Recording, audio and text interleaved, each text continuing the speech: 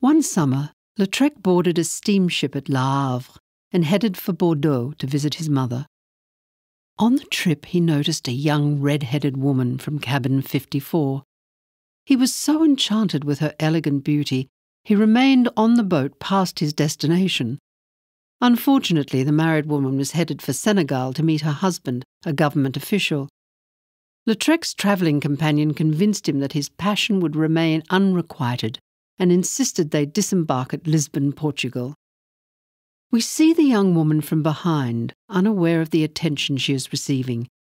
She sits on a deck chair, under a canvas awning, enjoying the sea air. Her gloved hand has just put down a book, and she watches the swelling ocean and a small steamer passing by. She is wearing a fashionable outfit with leg of mutton sleeves and a boater hat angled over her chignon. The poster was used to advertise the monthly Salon des Cent exhibitions, where artists could privately sell their prints and posters.